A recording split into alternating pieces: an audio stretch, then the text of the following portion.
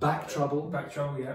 other things going on, shit happening. But today, We're back, we're back. we're back with a bang. Yeah. Um, what are we going to do today? Well, uh, this was your idea, Bob. Uh, this was your idea to look at red guitars. Well, quite. We're going to bring you some red guitars, and these are no ordinary red guitars. You've probably already spotted that we're playing a couple of red guitars, Yeah, and these are kind of like. unless I decide to edit this in black and white, in which case you can be forgiven. But um, I'm not. And these are particular. These are these guitars were kind of made famous by BB King and uh, Otis Rush, wouldn't you Yeah, say? I would say. You know, so that's why we started off playing um, the great song by the great Otis Rush, "All Your Love." All Your Love, It wasn't. It wasn't Eric Clapton that wrote that song, It wasn't. He just played it rather well. contrary to uh, common belief. But uh, yeah, so I mean, these were like the kind of really majestic and beautiful, um, and very rare because red wasn't really was red a color on, the, on this particular. So this, the, the, the red, the red was kind of customer orderable from. Gibson earlier through through the late 50s, right. but didn't really turn up on many guitars. It kind of emerged in about 58, 59, in very small quantities in 58, and of the thin lines, which were only introduced in 58, it, the red turned up on the 355, which is the top of the range, sort of Les Paul custom style thin line. It turned up on that guitar first. And this is out of uh, 1959 That's 59. with, uh, Um, with, with the original gold Bigsby. Gold Bigsby, um, although you see it's done it already. Um, there, there is one issue. At the moment, the strings are, for some mysterious reason, wrapped over the retaining bar on the Bigsby on this one rather than underneath it. So it's a bit of a pig to play, but that's just stringing. This is, this is top wrapping, but you shouldn't do it like this. Don't do this top wrapping at home. I mean, I do top wrapping on my Les Paul. But There you go, but not like that's this. another. But anyway, and it's, so it's originally gold parts. Were Yeah. these these pickups were they gold or not? Yeah. They, right, so they've really worn evenly to what looks like a lovely nickel sheen now. But Um, and by the way, we've got the owner just off camera here, but he's a lovely gentleman, great guy, great player and collector. So uh, indeed, indeed. And so what we're going to be seeing here today are all from his collection, and it's Yeah. it's it's quite quite toy tone. So you can see here, like they're gold. These Oh, it's are got a stinger. It's got a black stinger on the Yeah, back. and these are gold, but the, the, the these bits are silver, so they've kind of worn They've off. worn a bit, yeah. And uh, obviously, somebody was sweating or playing a lot on. Yeah, on or this. just, or just, you know, a previous owner might have just polished it. So but every, everything about the guitar seems to be original, and it's, it's, it's got the multiple bounds um, pick guard. The pick guard hasn't gassed off too much, No. or you know, what happens with these laminated pick guards quite often is they just change shape over time. They, they, they tend to cup, Mm. and this one hasn't gone too badly like that. The knobs, original knobs for the period, A water. This red is like a watermelon. and the red's faded to Yeah. watermelon, which the, the early ones do. And it, this tends to happen on 355s of the period. It happens a bit on 345s. There are a few 335s that have gone watermelon, but very, very few. And Mhm. you know, the strange thing about these guitars, it's a bit like Les Paul's, is that the top of the range guitar, which this was, this is like the Black Les Paul Custom. And it wasn't the best seller, and it isn't the guitar that commands the biggest money today. The biggest money is lower down the range with the Yeah. 335. But that's why BB King and these blues guys wanted to play these really ornate guitars, is because they wanted to make a statement. It showed success. Yeah, and it was, um, and and with as well with with the because you know this is one thing a lot of people don't realise is that you know Les Paul was uh, you know a fan of Django Reinhardt and he was a fan of jazz guitar. The jazz came from the big band jazz archtop sort of vibe, and um, and so that's why his favourite was the custom Yeah. with the with the ebony neck. Ebony neck. He only ever played a custom. You know, And, and, and he, of course, he only ever played clean. yeah, Mary Ford played the gold top. Yep. When he was married to Mary But then they Ford. both played, you know, clean, no, Clean, no no. distortion. That was hideous. No, he was building a jazz solid jazz. Of course, the Les Pauls, the black Les Pauls of those days, I, I, I don't know if these are, are the- are these the fretless wonder frets as well? They are. So they're very low frets. So Yes. this is this is the fretless wonder neck as well. So again, it's not it's not your blues bender's ideal guitar. No, I mean I can't because because of the way the guitar's strung. It's, they're going to pop out the saddles, but you know you you can that BB King. You know, so it's definitely got that. Yeah. You know that fast attack which you get from an ebony fretboard. Yeah. Which BB King became famous for. Yeah. You know? Yeah, yeah. So that's that, and that's that's a beautiful, beautiful piece. That you know, that's one of the early top end thin lines. beautiful guitar in fantastic shape as well. And just lastly, uh, this is something the owner just told me um, that, that when I expressed the fact that the neck has just got this incredible thickness and shape to it, and it was obviously because it's a 59 neck. Yep. Which would explain, we know why it so, feels so good. Yeah, it's just from you know the the pinnacle, the classic period for Gibsons, particularly their electrics. You know, and we're going to see some guitars that are from a slightly different periods, but you know, it's definitely you know about as good as it gets. So what have we got here then? Bob? So this this is uh, an unusual guitar. Um, you know, Epiphones by this time, you know, late 50s, early 60s, they were made, they'd been bought by Gibson. And so Epiphones were being made in the Gibson factory alongside Gibsons. So this is, um, to all intents and purposes, a mixture of an Epiphone and a Gibson. It's got all the Epiphone ornamentation, but it's basically, uh, the Sheraton uh, is, uh, is this a, I think a 61? 62. 62, 62 Sheraton. So it's more conventionally cherry red, um, but it's a top, top top of the range guitar in the Epiphone range. So these are quite closely related, actually. Yeah, because I mean, uh, from what I understand, is the the Epiphone workers stayed in New York and all moved to Guild. And mostly the ones that didn't want to relocate. Yeah. Relocated to Guild, and the ones that didn't mind relocating went and joined the Epi the Gibson workers. Right. So you know these were both made on the same in the same factory on the same benches.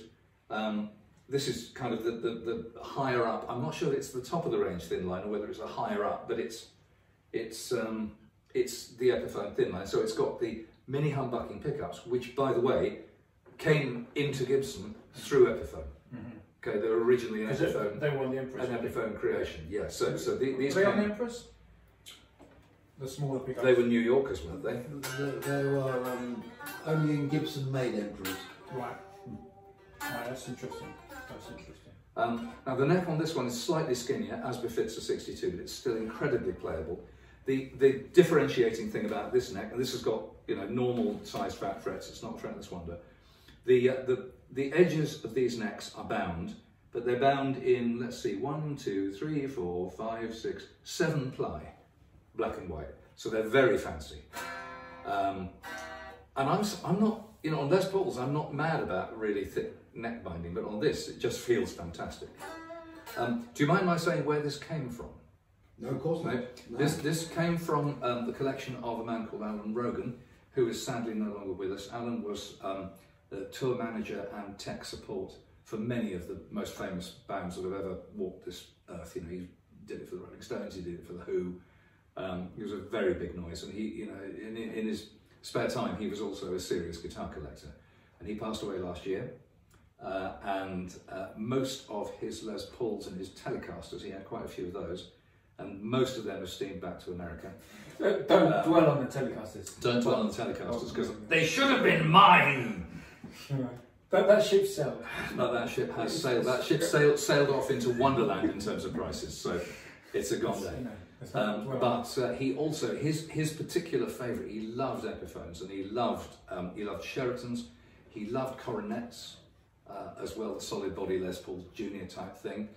Actually, there's a guitar that we do have to get at today, which I've just remembered. We have to get the Wilshire out because it's beautiful. So he also like Wilshire's, which is the Les Paul Special. That's coming later. Uh, so anyway, that's um, that's where this came from. Um, I love this guitar because just acoustically, this is one of the liveliest uh, Gibson semi-acoustics I've ever heard. This acoustically for me, this thing beats that into a cocked hat. It's this is really, really nice. I mean, this is way nicer acoustically than my 59 3, uh, 3, 35, for example, which is otherwise a pretty fantastic guitar. So, uh, again, uh, very similar, you know, you've got uh, uh, mahogany neck, um, you know, with a cherry finish. Slightly slimmer, isn't it? Slightly slimmer, sl slightly slimmer and flatter profile. Grover tuners again, like you would get on the top of the range mm. instruments. Um, this guitar has a particularly nice uh, mid position with the, the pickups sound sort of out of phasey, but they've still got some body. They don't they don't just go all thin. Um, and the other thing about it, you, you, have to say the headstock inlay is just just a piece of work. I mean, it's just you know, really, really pretty. Which is carried over from the older. It is original. From the 50s stuff. I mean, there's a lot to be said. You know, obviously, you know, guitar players and collectors are incredibly conservative, and they, they, they tend they tend to buy Gibsons and they tend to buy Fenders, and I, I'm probably as guilty as any. But there's a lot to be said for looking at Epiphones from this. From this don't, don't tell everyone. until I bought my one. Okay. Don't. I'll say it so everyone can't hear me. But uh, the Epiphones from Don't buy them. They're not very geeky guitars. honestly. they, they fall apart. Yada yada. They're, they're amazing. The, the, the Epiphones from the 50s are some of the best made guitars in guitar history because that factory was on fire and they got taken over by Gibson. Gibson managed to import most of the good bits and they didn't manage to add too many of the bad bits. So the Gibson made early Epiphones are bloody fantastic as well. Um, and most of them, with the exception of the Epiphone Casino, which because of the Beatles connection is more valuable than the Gibson 330, apart from that, Epiphones tend to be a little bit cheaper. Although, although that said, I've noticed Norms is now putting huge prices on his Epiphones. You know. Don't get me started because the truth is at the moment dealers are putting huge prices on everything. One of my bugbears at the moment is that if you see a dealer interviewed on online these days, pick a guitar. Let's pick a Telecaster. No. Bitter? I'm not bitter. But seriously, you pick a Blackguard Telecaster and a dealer will say, yeah, $40,000 guitar. And I'm going, that's about right. That's about what I'd pay for one. For a good one, you know, good shape, verifiable. You find me one on offer for less than 65. So it's the same dealers offering it to the public at 65 and telling you that the guitars are worth 40. Not that they pay 40 for it, that it's worth 40. So you- you're going into a shop and a bloke's saying it's worth 40 and I'm charging 65. And that's why I was trying to avoid the subject of television. And that's and that and that's to it. The other thing is, I'm told by friends of mine in the states who are in the know, that all the dealers are now doing something that, that hasn't happened routinely before in guitar collecting, which does happen in antique collecting, which is that the dealers are all now buying from each other. And what that's doing is you've got a double cost spiral. You've got greed and internal buying spiraling the costs. So, gentle reader, unless you are made of money, now is a really duff time to buy a vintage guitar for cash. Part exchange, different, because you're converting silly money into silly money. But if you're converting sensible money that you could spend on, I don't know, in, in the UK right now we need money because we we can't afford our heating anymore because heating is more expensive than platinum. So if you want to turn sensible money into silly money, buy a vintage guitar right now. Otherwise, don't touch it. Wait for the market to come down because it must. Here ends today's sermon. Shall we move on? Yeah, sorry, I just, uh, yeah. They-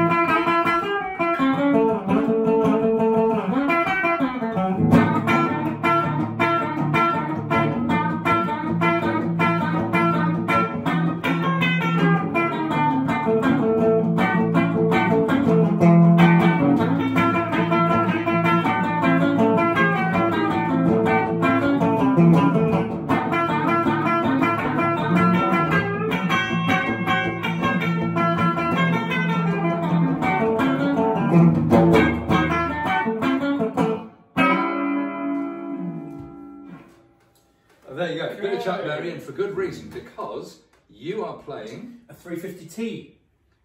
from 1959, Nine. but it's red It's red, very rare, and which would be a custom order. and probably quite an expensive piece of kit, custom order, all kinds of bits. It's got Varitone on it. it's got the most fantastic flame maple across the body. But this is the guitar in blonde that Chuck Berry played. It is. Or it was his, his might have been a year or two earlier, I don't know. Probably had P90 pickups on it. Yeah. Yeah, I, yeah. Oh, But So- I think I think there's a shot of him playing one with a humbuck as well. Could be. You know, um, with the P90s. And then obviously he had a red, you know, Yeah. red three five five. Yeah, Yeah, but yeah. I've definitely seen him play a blonde one with humbuckers. So, but what's interesting about this is this is a laminate, beautiful laminate um, top on this, and just look at that that flame maple. Now tell me the story about laminates versus solid tops. Well, so uh, basically, I mean, as far as I understand it, um, if I take Jim Hall as an example, when Jim Hall went to Dear um, and Jim Hall replicated his um, ES175, the main thing about it, it, it was a laminate guitar, you know, because if you're a, a gigging jazz guitar player, you don't want to be, you know, taking an all solid spruce top, solid guitar where the thing goes out of tune on every gig. You, you play an outdoor concert, and the whole action's going to change. You know, because it's a solid guitar, so it's very susceptible to what's I happening. th- Weather. I, and I thought something to do with feedback as well. For feedback as well, the laminate's going to dampen the guitar, less resonance, so you can play the, the guitar louder, you know. But the, as well, you know, playing a, a solid arch top, um, they change action every day, Right. depending on the So the wood really moves that much. Yeah, Interesting. so the laminate guitars are See, not being a jazz player, I, I don't I don't really know about stuff like that. So, yeah, so so, I mean, I would always go for a laminate for, you know, I'm doing a little jazz gig tonight. Yeah. I'm taking my laminate Fender guitar. your D'Aquisto, Yeah. which in itself is not an inexpensive piece of kit. No, but so the laminate. I mean, for Chuck Berry, you know, he's doing gigs and that. It's, it's, it's a workhorse. You know, he's he, Right. you know this is this is these are the days when He packed it next to his next to his pistol in case he didn't get paid. Yeah. yeah, and just like BB King knows his Rush, this was the time when the guitarists had one guitar. yeah, yeah. They never, even Which they carried, which they carried themselves, tuned Yeah. themselves, probably restrung themselves. No, Yeah. no techs, one all that guitar. stuff. None of this Ponzi luxury of today. It was a proper working man's work. Yeah, they had they had a cable and a guitar. God, I know how they feel. That's all they had. You know, That's all, I, used- that's all I get when I have a gig. At least you got me to tech for you. And. So uh, yeah, so but this on the other hand, this is kind of like one up the level, isn't it? Well, this this is this is a uh, also 1959, uh, and the sharp eyes out there would have spotted this is a Birdland. Uh, so named after Billy Byrd and Hank Garland, so Bird and Land of Garland. Uh, they co-designed this guitar. Birdlands are known um, in recent years. They're really known because Ted Nugent played them. Right. Um, He but kind of ruined the image of them, didn't well? As a, as a serious a gun-toting good old boy, you know. But no, I mean, he was cool. I mean, was, the, Yeah. the, the cool thing about him was that he used it for high octane rock and roll. Yeah, very really high drive, high distortion, you know, Yeah. which, which is just keeping one of these things in, in check with that shit going on is Yeah, pretty I mean, heavy. admirable. but uh, the Birdland is an unusual guitar as well because it's shorter scale and the neck is slightly smaller. The whole thing is smaller because I think Because you've got short arms, haven't you? So it fits. No, I don't. But No? Byrd and Garland, apparently, they must have been small-handed chaps. Oh, right. Okay, and you know what they say about small hands and small feet. And we won't go there because I think we covered that in the previous video. Yeah, Yes, we did. we- we- But can I just say this? Uh, another thing is that um, I think when they marketed this guitar, it was as well you could do fancier jazz chords. You know, you could do one- bigger stretches. Yeah, So yeah, you you could. could show off and do these crazy. sure. You know what I mean? Like, Yes. Can I just demonstrate one of those chords? I mean, I do it like this. I kind of. So I have to use my thumb, and you know what I mean. That's certainly that's certainly not a chord from the bottom of the pit. Well, you know. A Quatermass chord. So this this guitar was artist owned. This was owned by a chap called Buddy Long. I don't have to look very hard to see that Buddy Long. Buddy Long was a band leader um, who uh, boasted Duane Eddy as his guitarist uh, at one point.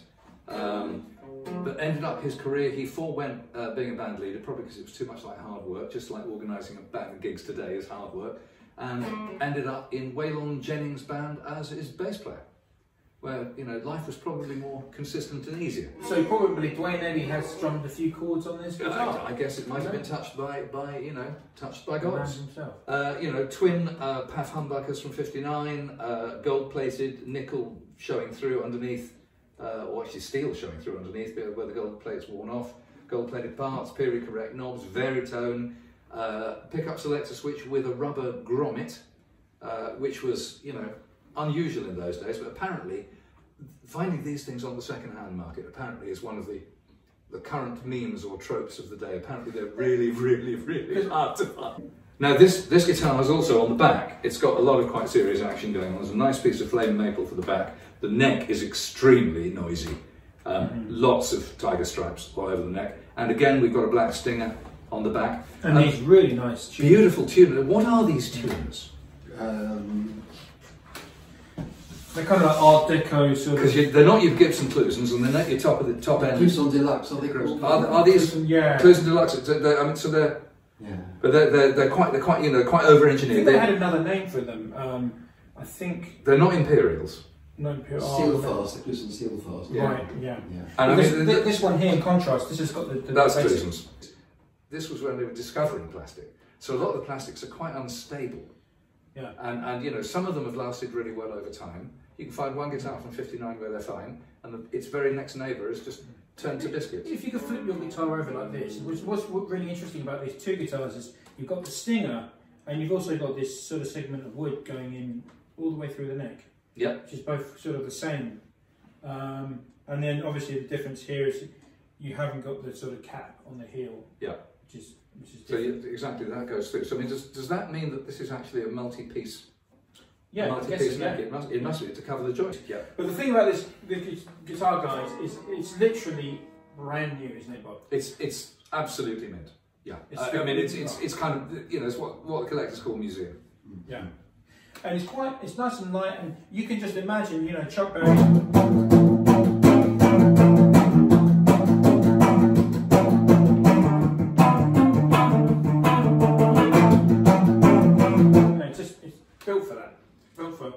And you know with And very- rock and roll was now- invented now- on one of so these that guitars. that guitar's got a truss rod cover saying stereo. So my guess is that that is a stereo guitar. Yeah, with the, because oh, both of these guitars have one of these. Right, they have varitones, but I don't know whether this is this is stereo as well. No, it's not. It's this is a That's- mo- that's a a mono- baritone. Mono baritone. Right. So, but but in terms of scarcity, I mean, you know, the whole point of having all these these ancient, you know, Gibson red guitars today is that these guitars are all extremely scarce. Yeah. So, which one one of these there are reckoned to be half a dozen of that one, or this Oh, one? that, The- that one. That one. this one. Apparently, there are six known red Birdlands across the life of the And and it could be that these were sprayed red on the same day, in the same booth by the same guy. So how about that? There you go. It could be. I mean, you know, and the, I mean th- these. And, and do we have, have we got any idea how many red 350Ts there are? One. One. There's only one of these. There's one of these. That's it. one. That's it. Okay. You know. So if you're anywhere else in the world, I can tell you with certainty you are not in the room with a guitar like this. This- Yeah. To, to have one of anything is pretty pretty astonishing. So this is, this is like I was saying. This rock and roll was invented on, on one of these guitars. Do you know what I mean? These are re- these are real time You know, if, if it wasn't for this guitar, there would be no Rolling Stones. And with that in mind, There would be no Beatles. There would be, We- you know. for the sake of you know for the sake of our dear viewers, you know, flagging interest, we're going to move on because there's much more to Yeah.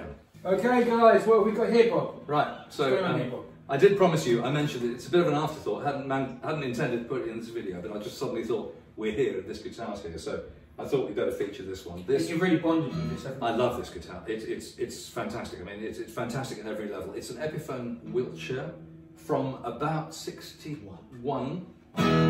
So it's basically, if you're familiar with the Epiphone Coronet, which is like a Les Paul Junior, then the Wilshire is the two pickup, four knobs, pickup switch version, which is like a Les Paul Special.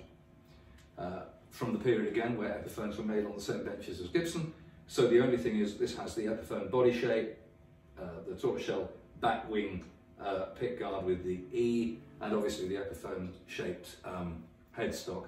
Um, being 61, it's still got the metal plate, so a bit like my E ES230T, which is just early enough to have the metal plate. They changed it in early 62, in the 62 catalogue, which came out in April. All the guitars had mother of pearl, or the cheap guitars had um, gold stencil. Um, so that's a bit of the period thing. This has got a wide flat neck, Brazilian rosewood, Brazilian rosewood board, Honduras mahogany. Honduras mahogany body and neck, but obviously a glued in neck. Quite wide and flat, characteristic of that period, 61. Guitar plays like the wind, but the condition of this guitar is absolutely standout. And tunematic, which the others didn't have. And a tunematic. Gibsons didn't have. No, indeed, they had a wraparound, of course. Yeah. Um, so this has a tunematic. So it's fundamentally, it's a, it's a slightly more usable guitar. And Gibson P90s. And same P90s as Gibson used, yes, so Gibson P90s. Uh, this P90 is uh, back from the neck, so this this is obviously like, like they moved this pickup on the specials during 61. 60, 61, they moved this pickup there because when this pickup was right next to the neck, the neck tenon underneath was too weak and these guitars were famous for snapping off at the neck. So this is one of the slightly later designs where the neck tenon goes deeper into the guitar, thicker, and therefore the guitar is more stable. Is if you have a look at the knob, have a look at your knob here, Yes. what would the original colour be? What would the original colour? Would it have been White, I suppose. would it have been white like this one? Uh, I don't think so. I think it would have been yellow, but not. It's just yellower over time. And Right. and marks out of ten for the material that they're made of. Um, nine. Catalin. Catherine. Oh, right, so I saw you. There you go. Uh, There you go. This is the kind of knob that idiots pay many hundreds of dollars for to put Yeah. on their old Les Pauls. Because I'm thinking it was white originally. I'm thinking They would have was white. Paler, but they wouldn't have been pure white. Are you sure about that? Because I've seen photos in the Les Paul book Yeah. where they're white, Really white? but it might be because of the filter they're using. Yeah, yeah, it might be. And I mean, remember, a You know the Japanese guy Well, the other thing is, a lot, of, you know, a lot of the period illustrations, remember, were actually they were like, Airbrush. uh, uh, and, and they were like scraper board. They, they took a photograph and then they made a scraper board, so the black and white relief, the black and white Right. catalogues were sharper. I see. So an awful, you, you can't really trust a lot of the pictures from back then. Question, guys, put it in the comments if you think if you know the colour of what they originally were. Put it in the comments. I think it's why Bob thinks it's off white, Off, off white and then they yellowed over years. like a cream colour. Yeah, yeah, So- yeah. That would be that would be my, my best guess. There you go. But uh, there you go. So that, anyway, that's uh, that's this guitar, which is an absolute peach. Um, this again came from the Alan Rogan collection, uh, and boy did he have good taste in Epiphones. Wow, wow. Now as for that, that isn't even a Gibson. No, here we go, Bob. We've got this is a beautiful what we call a D four hundred, and this was the Duane Eddy um, guitar, signature guitar, because they're signature guitars. Um, and this is a beautiful Guild guitar, and uh, and it's it's almost kind of like Guild's in a way Guild's version of a three fifty. You could say that, you know. Um, so we've got cutaway. It's it's you know thin. It's not a full depth kind of archtop style Yeah. guitar. Um, but, but you've got again, Slightly thinner than the 350, slightly more like a, a thin Yeah. line thin line Gibson. And you've got this classic Guild mahogany that they used where they had the stripes. Yeah. And so this is a mahogany back instead of like a, a maple back or whatever. You know, Yeah. This is kind of interesting for Guild. Quite nicely arched. Yeah, and the, all the Guilds have these beautiful sort of pressed tops, don't they? That, that kind of a nice shape. And the, the best pickup ever made is on this guitar, which is the Diamond Dinosaur. Dynasonic. You know, so it's just got.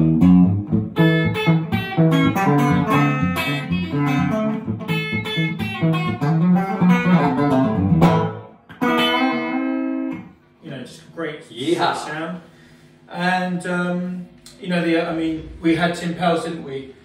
You, you did a great In video our previous video. and the day you were in the doghouse. There was, I, was, I, was, I was banned from the show, but but Tim would tell you that um, you know this was one of the best models ever that Guild ever made, and it's quite pricey on the second-hand market. It was going up, Yeah.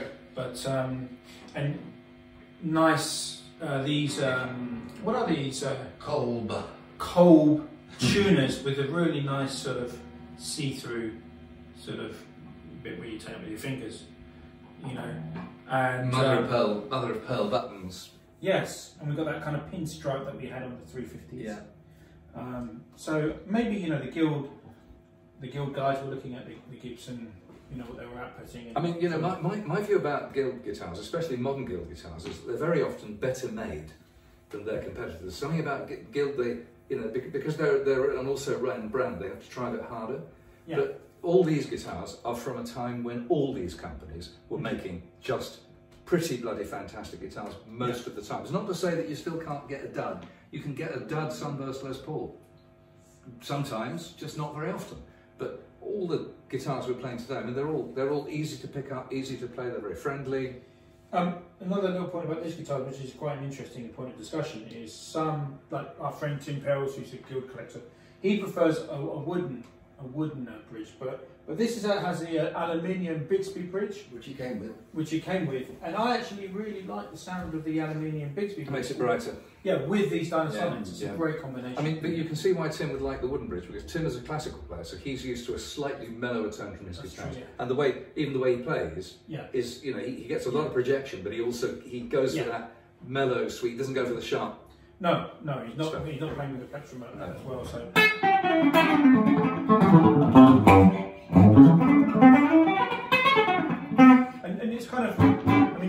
play literally uh, like the 350. You can play anything rock and roll on this. And Duane Eddy was the kind of rock and roll country dude of his time. So you know, and, and it's great that these these kind of early rock and roll players had these beautiful, you know, Yeah. thin lines. Well, not thin line, but you know, smaller Yeah. f holes. I mean, give us give us some bottom string stuff because you know Duane Eddy was the master. Bravo.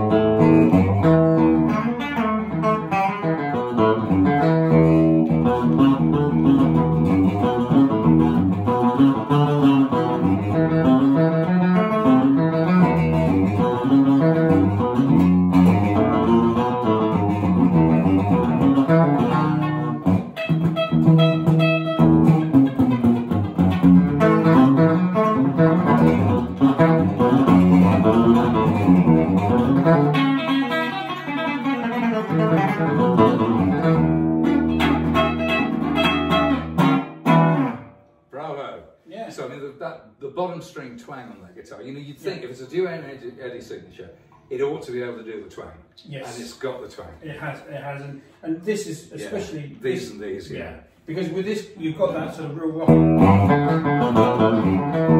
But with this you've got Yeah. sort of mellow sound, and that's why for me the DeArmonds are the best pickup ever made. These are the best pickups. Heady stuff, mind you. Yeah. A couple of months ago, you were waxing very lyrical about your gold foils as well. No, but even when I had the gold forward pop, I love gold forward, but I I knew that these were the best. So I've only are- I've only got one one pair of these. I mean, which let's is ask the owner. What are the best pickups ever made? Dynasonics. There you go. Yeah. so I've only got one pair of these myself, which is on my '56 Guild Duojet, Right. which is a guitar that I put down oh sometimes for quite a long time. And every time I get it back out and I plug it in, I go, why don't you play this more often? Because it sounds fabulous, and it's got the black topped versions of those. And have you have you geeked the guitar, your bridge? I have. What does it sound like with these pickups? The strange thing is, I took it out on a blues gig, Right. and you would just think, Wrong place. why would you do that? And it sounded terrific. And they cut through, don't they? These pickups Oh. cut through. Yeah. Really, They're really, just like- really good. Made made me, you know, wonder why I don't take it out more. And the reason I don't play it more is just because I've got too much choice. But that's for another day. Well, we, we all have too many. Talking of choices. choice, let's move on because we've got yet more fantastic red guitars to come. I, bro- I broke a, a flat wound on my cheap bass. Yeah. And for some reason, the bottom string unravelled. Yeah. Yeah. So I broke the thickest string on, in the world. Yeah. And then I went online to find out how much a flat wound bass string was. Yeah. It was 19 quid.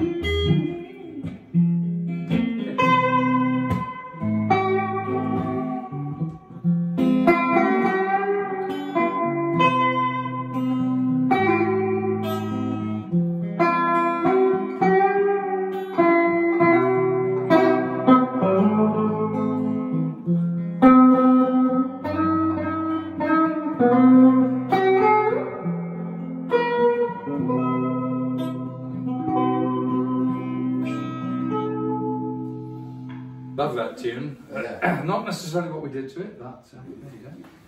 Johnny and Santo, A eh? psychedelic version. Ah. So we've got uh, two Gretsch red guitars here. Yeah. So if, if they're black, they're Duojets. So what's if they're one? silver, they're silver jets. And if they're red, they're jet firebirds.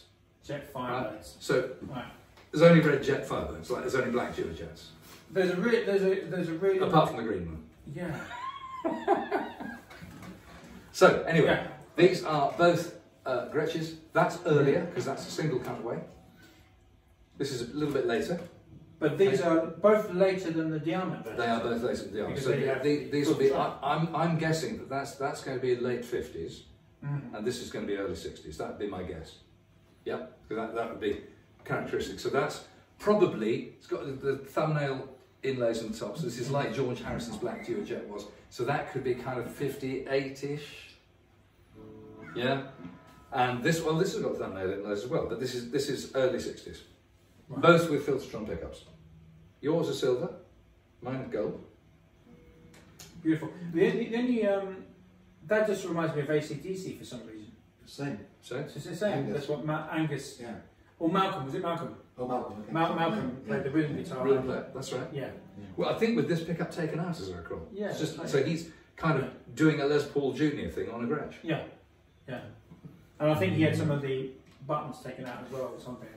Because you've got a lot of a lot of stuff going on. And you know, one of the world's great rhythm players. Absolutely. Great, Yeah. totally consistent, totally dependable, and you know, with a tone. And another thing about these guitars, they're nice and light. You know, they're nice, lightweight. Because they're they're hollow. They're, They're, hollow. they're chambered. Well, they're not even chambered actually. They are hollow. They're hollow. I think. Okay. And interesting again, we've got the Bigsby bridge on here, aluminium fixed speed bridge. Yeah. And on your one, we've a roller bridge, haven't we? This is a roller spacer bridge. So, so the Gretsch, you know, the interesting thing about Gretsch at the time was that almost every batch of guitars that they made, they were fiddling with them all the time. So they're very seldom the same. Yeah. They were changing all the parts. I mean, one of the things Gretsch is famous for is all these switches. Yeah. It takes about a week to work out what the damn You've switches got the master, haven't you? Here? And you've got your Master. ma- master volume and then a couple of volumes here. But this has got a very interesting bridge, isn't it? So Yeah. what- is that that's a Burns? It's a Burns Is style that the. UK? The UK um, Hank Marvin? You know the whole. Um,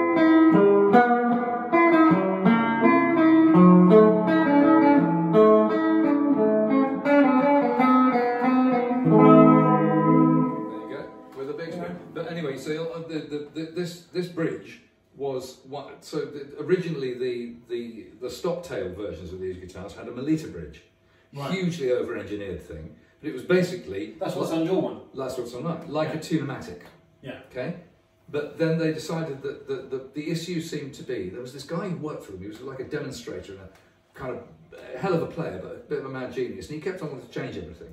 And he decided that the issue wasn't intonation, because on this guitar you can't change the intonation except by moving the whole bridge, Right. right? Like an answer. But instead, the whole issue was string spacing. Ah, I And so these, so basically all these these um, the, these guys for the strings are mounted on screw thread. So you, you you move them side to side. So you can on the change the, So you change the string spacing, which is great, but you, You can't, can't- change the intonation. Ugh. Uh, but the, so the, these these are two again. You know, red red is not perhaps as uncommon as some of the Gibsons we've seen in this video. Mm. Um, because at least this, this guitar did actually have a, you know, a model name for red, which was a Jet Firebird. Right. But these are still unusual. You Yeah. know, they're much commoner in black. Yeah, there's a great guitarist in New York, and he's he's he's kind of very much like a Marc Ribot sort of ribot player, Mm-hmm. and and he does these kind of um, you know I think he you know kind of like um, what's it a film noir soundtracky sort of style you know soundtracks Right. scoring. Very vibey. Yeah, and he actually writes scores for films, and, and so he's got all that kind of um, you know sort of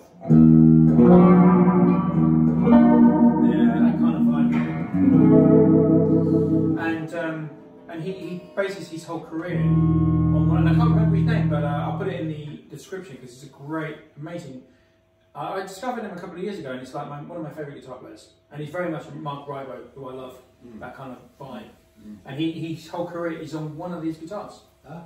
You know, he's a great player, New York great player, and um, And a red one? you know, I think it is a red one, yeah, if I remember rightly. But he, you know, um, so these are great, you know, beautiful, you know, workhorses, and um, you know, not Les Paul prices. So you know, Although I mean, yeah, they, they, like everything, Tripping they are getting a little bit steep. The, Yeah. the other thing is the, these these Gretsches, the, the, the necks, they, they definitely you, you're not playing Gibson, you know that.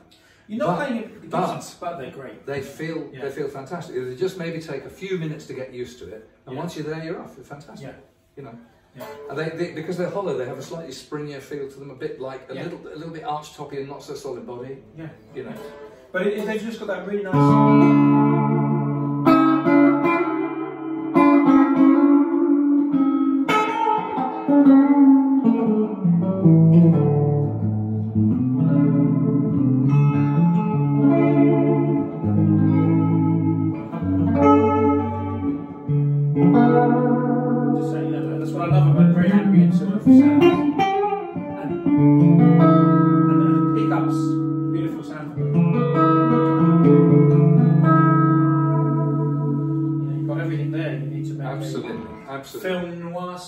So another couple of pretty rare, if not incredibly rare birds Yeah. here, but in great shape, beautiful shape.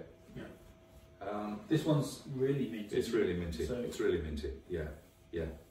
minty. minty. Is that a new word? Is that a new Minty. word going on? No, not most collectors. The other thing, by the way, these guitars from the 50s onwards, uh, the first guitars I think Yeah. to have strap locks.